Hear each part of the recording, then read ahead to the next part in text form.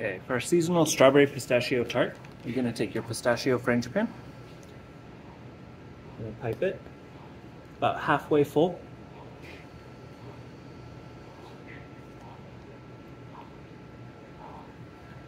And then you're gonna top with IQF strawberry cubes.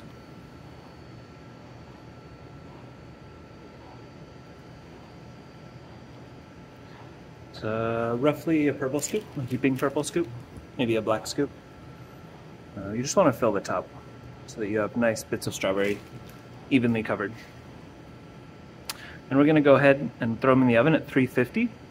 We're going to bake for 12 to 15 minutes um, until the frangipane is set. And then we're going to brush with strawberry syrup hot out of the oven.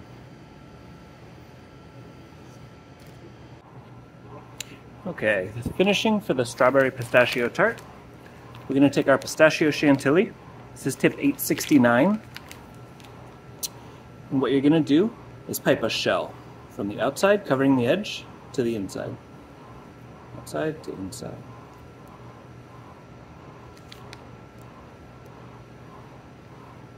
Basically wanna go around the whole thing. So you've got this fully covered. And then you're gonna place one strawberry in the center. You want it to be nice and tall and to have good strawberry coverage there.